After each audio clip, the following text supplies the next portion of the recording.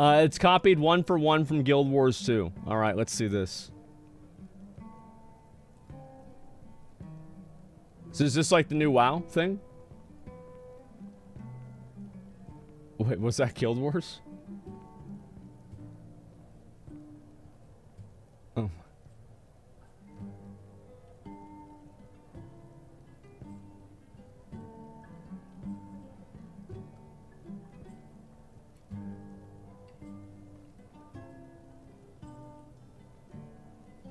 You want to know the truth?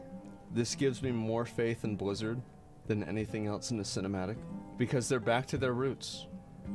They're back to doing what they do best stealing other people's ideas and doing them just a little bit better. Thank you.